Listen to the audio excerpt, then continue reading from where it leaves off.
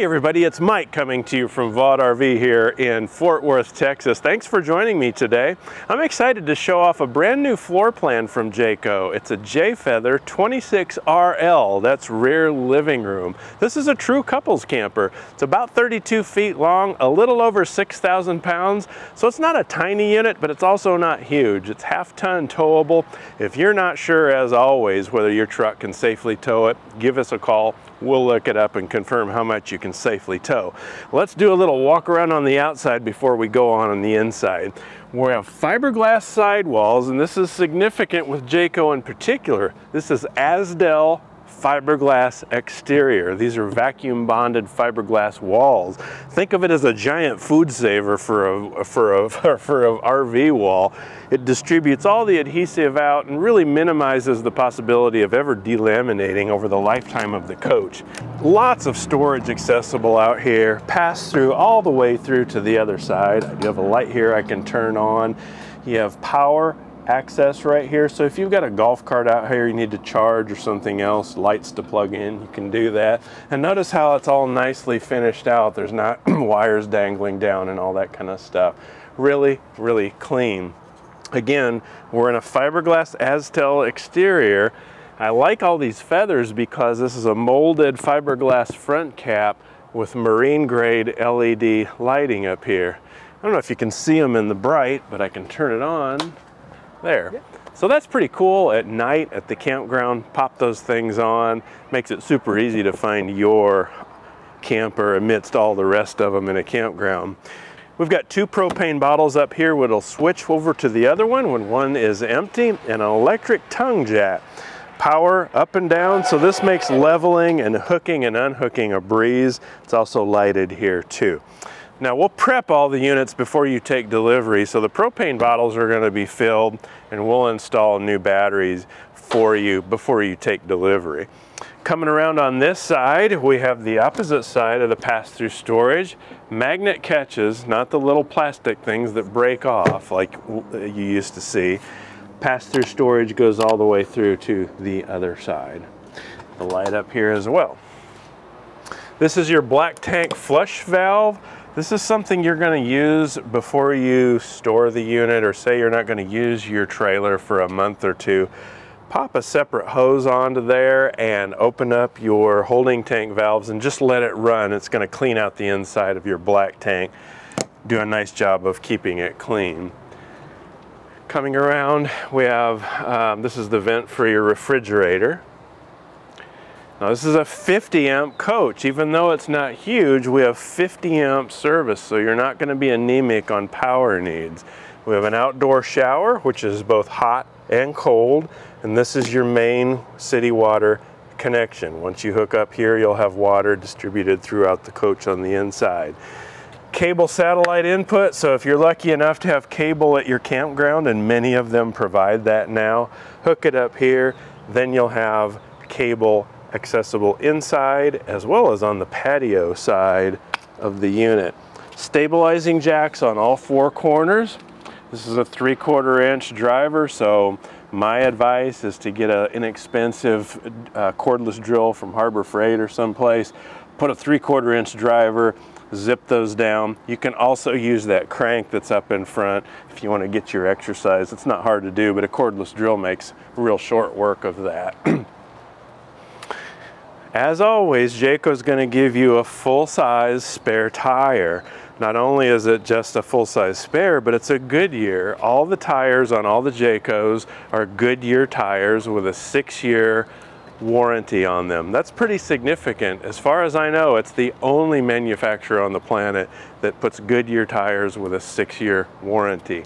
Top that off, literally top it off, the roofing membrane of every Jayco starting in 2022 is the newest generation of Dicor, which is a 20 year warranty. So that roofing membrane's got a great warranty too. And I tell people when you're shopping, and you should, give the wheel wells the knuckle test. Go up there and do that and see what you hear or feel. In Jayco's case, it's going to be galvanized steel. So if you ever were to pick up something on the interstate, a tread from a semi or something, it's not going to tear up part of your trailer back here. It's reinforced, and that's something I wouldn't have thought to think about before I uh, took my Jayco Masters training. That's really important. Now, continuing or finishing up our tour on this side, there's a TV mount that'll go in here, so you can pop a TV on the outside. You have your power here and your cable here. So if we have cable hooked up on the utility side, now we'll have cable here and I can watch my TV programming out here. Now this is the potable water fill. This is uh, where you're gonna fill water in your freshwater tank if you're gonna be camping off grid without hookups. I recommend only putting a few gallons in this tank at a time for a trip so you can go in, wash your hands, flush the toilet, what have you. No need to fill this up because you're just pulling weight unnecessarily. Uh, no, no need to fill that up unless you're going to go off grid for a period of time. This is a six gallon direct spark ignition water heater. This runs off of propane and or electricity. You can run it off both of them at the same time if you want it to recover a little quicker. But uh, generally speaking, if you're at a campground, they have electricity, run it on electric. If you're off in the boonies and you don't, run it on propane. This is your furnace assembly right here. I recommend putting bug covers, wasp covers to keep mud daubers from going up in there and taking up housekeeping in your new RV. This is what Jayco calls a J-port. So you can put a little platform in here and then there's a propane quick connect right here so you can have a griddle or a grill outside here as well. Pretty neat. Now we have two entrances as you can see on this unit and a lot of people say, well, why is there two doors? This one goes into the bedroom. That's the main entrance into the living room. Anytime you see two doors on an RV, it, it means uh, one of a couple things most often when the slide comes in, it blocks access to that room from the inside. And I'll show you inside. This way, going down the road, you stop, you want to get in and get something out of the bedroom, a shirt or something, you can access the bedroom through this door instead of having to go in and push the slide out and get into this room. So that's why that, in most cases, you're going to not use this entry that much you're going to use the main entry with the nicer steps. Speaking of, these are MORryde step above steps, which fold in for travel. And I love them because they make good firm contact with the ground and it, and it minimizes the movement on the inside of the coach. Have a light under here. I can pop this on. You won't see it because it's daylight out here, but it's a blue light under here that looks really neat after dark. To stow these for travel, you just pop it in like so, latch that in, release that, and these legs are both adjustable for any kind of terrain that you're on. Pretty cool. I do have a screen door here, and my wife yells at me for not pointing out the screen door sometimes. So look at there, honey. It's a screen door along with what we call the margarita pass-through door. So somebody's in there making margaritas, they can pass the drinks through there without letting all the bugs in, right? That's what I say anyway. Let's go inside and have a look. Now we're on the inside of this 26RL Feather. This is a true couples camper, like I said. What defines a couples camper? For me, no bunks, right? And it's comfortable for a couple. We have one slide, and it's not a huge slide. You can see it framed in here. It houses the dinette, the refrigerator, and a pretty abundant amount of storage with, I love these, drawers that pull out. So whether you've got boxes of cereal, canned goods, or what have you, these are ball bearing, full extension drawer glides. And so this can serve as a pantry, extra clothes, or what have you. Not to get ahead of myself, we have the rear living room here, hence the name RL right across from the nice TV and entertainment center. So whether you're sitting at the dinette, having something to eat, I can see the TV.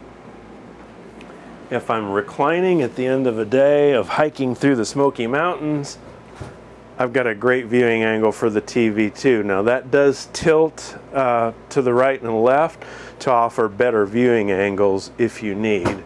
So this is a really, really neat floor plan that I'm falling in love with. So we'll start here and kind of work our way around. Um, this is an Insignia brand TV serviced by Best Buy, so it's a good quality TV. Down here we have a radio, a stereo, insert that is Bluetooth, so you can pair your phone to this and push music from your phone through the speakers in the ceiling here or through the speakers out on the patio. Now I've got storage under here on either side of the radio and then behind these smoked glass inserts little shelves here. And I love this because it's right next to the kitchen and I'm thinking this is going to become spice storage and stuff like that even though it is in the entertainment area. Uh, it's just perfect size for spices and salt and pepper and stuff like that. I've got power right here so I can put a phone charger or what have you right there. Now moving into the galley area we have a three burner uh, cooktop with backlit controls and a nice little oven underneath. This whole cooking surface lifts out for cleaning. If you want to close this for a little more prep space and just to keep it clean, you can do that. Now this is a vented range hood, so this is vented to the outside. It's also lighted. So just like home, if you're frying bacon or whatever, you can get the smells and the heat outside of the coach. Small little microwave up here. I have a power tower right here, so USB charging and household current there as well. Looks like there's a USB-C right there as well. So there's lots of uh, flexibility for how you use the power in here, hooking up a coffee pot, a toaster oven, charging your gadgets, what have you. This is uh, indicative of a feather trim line with our smoked glass. So we have nice cabinet storage up above. This is true with all Jayco units. Um, the cabinet build is going to be top shelf and it's why um, I bought a Jayco myself in the past. This is solid maple cabinet doors, solid maple fronts to the drawers. The cabinetry is pocket screwed and glued together and the whole assembly is then screwed to the framing members of the coach. So it's solid.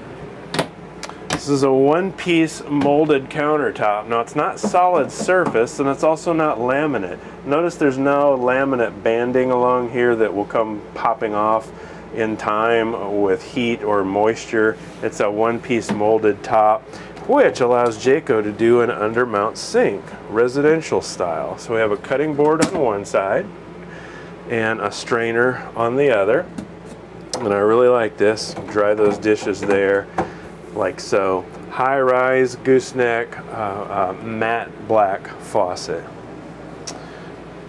Again, our full extension ball bearing drawer glides down here for kitchen utensils and access to under the sink area with some additional storage down there as well as under the oven.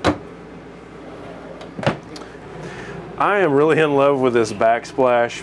When I first saw this, it looked like real tile to me.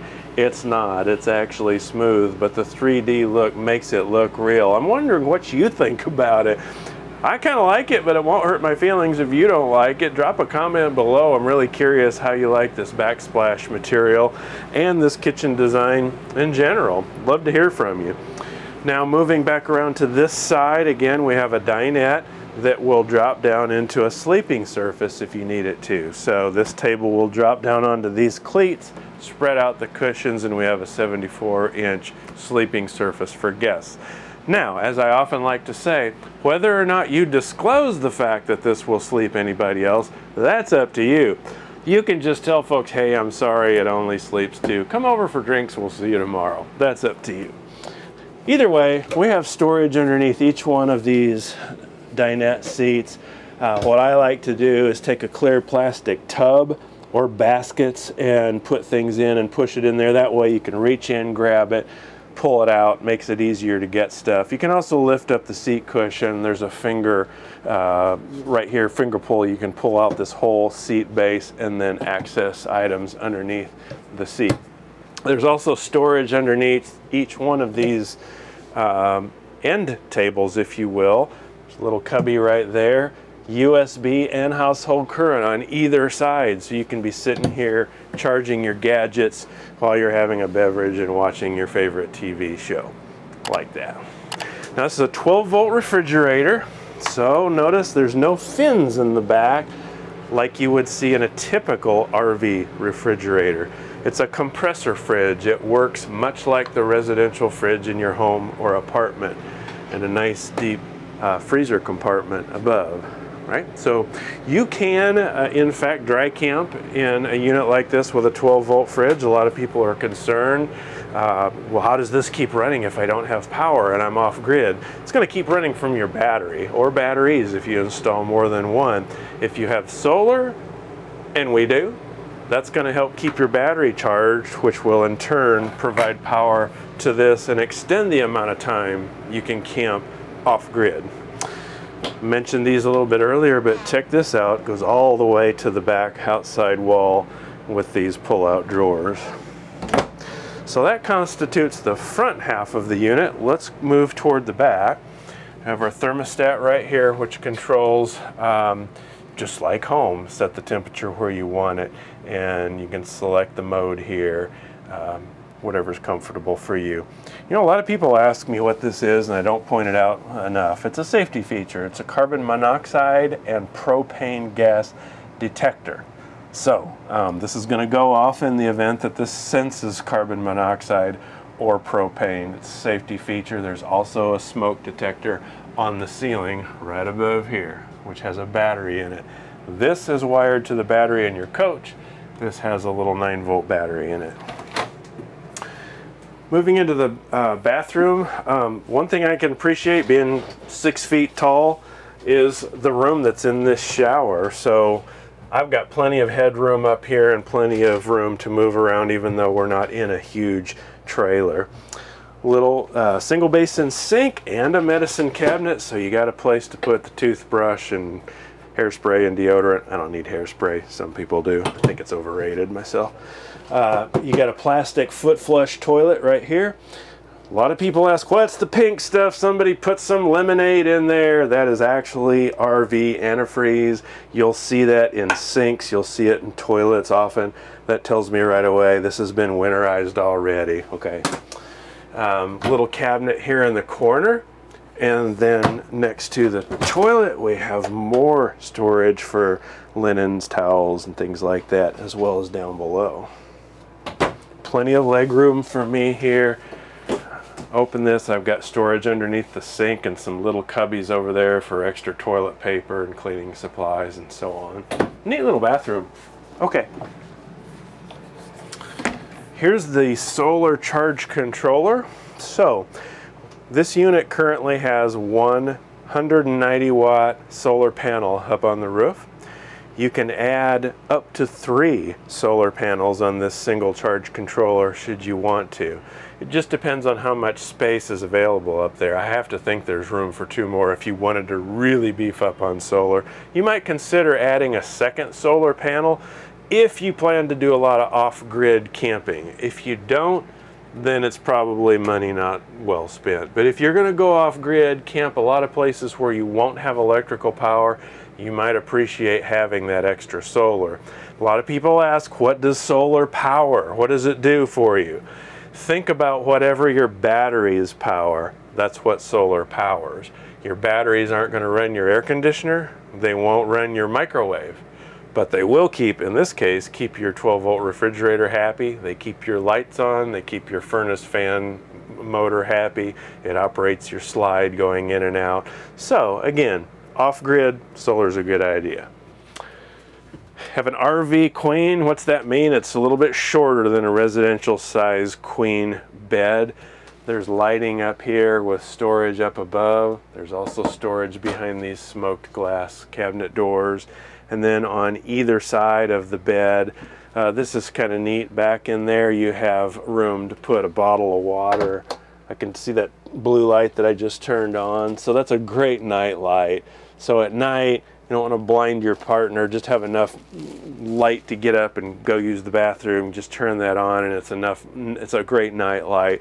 There's a switch right here on the other side for this side as well. Again, USB ports as well as household current on either side of the bed. Now there's storage underneath the bed too, and it has gas struts that will keep this uh, in the up position while you access the storage. These are two little TV tray inserts that go into the cup holders of the sofa up front. That's real handy. So if you just want to sit there and have some popcorn and a drink while you're watching a TV show, you can do that. And you don't lose your cup holder. You still have a cup holder even though you drop this into the cup holder. I'll take it with me up there and show you guys how it works. Plywood here, plywood under the floor, plywood on the roof structure, which is going to be true with Jayco models throughout. 4,500 pound weight rating on the roof. Um, I don't talk about that enough, but it's pretty significant. Every Jayco has a 4,500 pound roof rating. You can walk on a Jayco roof for maintenance reasons. A lot of people say, well, why do I need to walk on the roof? You won't have to very often, but if you do, you can. Also, heaven forbid if a tree limb were to fall on this unit, mm, you might call State Farm, but not 911, right? It's just a stronger box. Now, this is neat. We have a little extra storage area behind the entertainment center so I can hang some clothes right in here, a little closet, and then I've got actually four drawers through here. And as I often like to say, uh, Mrs. Drudge gets that, that, that, that, and all my stuff goes in this one right here, and I'm happy. That's all I need. All right, so we have a sliding door here so you can close this for total privacy. Pull this off close that off. So if mom wants to sleep in, she can do that and have total privacy. Here's this little guy. I'll show you how it works before we wrap up this video. Just bring this guy up here on this side, pop it into the cup holder like that. Now, I've got an eating surface, still have a drink holder right here. Obviously one for both sides. If you don't want it, just lift it out. But that's pretty handy. I like that. So again, we're in a Jay Feather 26RL 26 rear living room, about 32 feet long, little over 6,000 pounds. Love it. It's a couples camper for, for uh, that checks a lot of boxes, I think, for a lot of folks. Again, my name is Mike. You're joining me here at Vogt RV. I appreciate you watching this video all the way to the end for starters. If you like these videos and you feel like it, and I hope you do, click like and subscribe below. We work hard to bring these videos to you.